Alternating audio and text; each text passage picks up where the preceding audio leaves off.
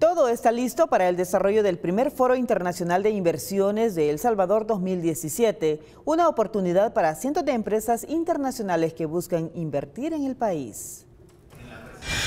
De momento, poco más de 30 países han confirmado su participación en el primer Foro Internacional de Inversiones de El Salvador 2017, un espacio donde potenciales inversionistas vendrán a conocer las oportunidades que se brindan. El 28 de marzo se inicia en El Salvador eh, un gran evento, primero que hacemos en la historia, como será el Foro Internacional de Inversiones en El Salvador.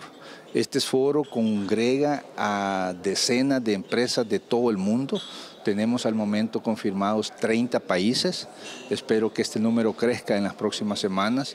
Tenemos ya más de 200 invitados extranjeros que llegarán al país a participar en el evento. La posición geográfica en la que se encuentra El Salvador, la infraestructura logística, personal capacitado y altamente productivo son solo algunos de los atractivos que se generan en muchas compañías internacionales. Por ello, su interés de venir a invertir en el país. También tendremos foros especializados para estudiar nuevas tendencias que se están dando en la economía mundial, como por ejemplo el papel de Asia y sus economías tan pujantes y la relación que pueden tener con El Salvador y Centroamérica. Están llegando invitados conferencistas de la India, de Corea, de China continental, de Japón, incluso de Rusia. El foro de inversiones se presenta como una oportunidad para proyectar a El Salvador y exponer las ventajas y oportunidades competitivas en los diferentes sectores estratégicos en el desarrollo económico del país.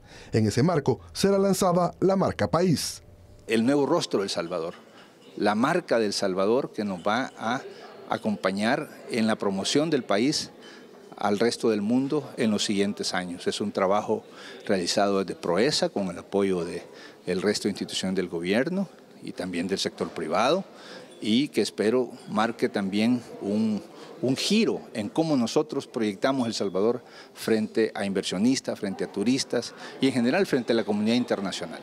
El Salvador es sede de más de 50 empresas internacionales que han decidido radicarse en el país, aprovechando las ventajas competitivas y la seguridad jurídica, lo que propicia que más compañías multinacionales busquen continuar invirtiendo. Solo para el año 2017 se prevé una inyección privada a la economía nacional que supera los más de 3 mil millones de dólares.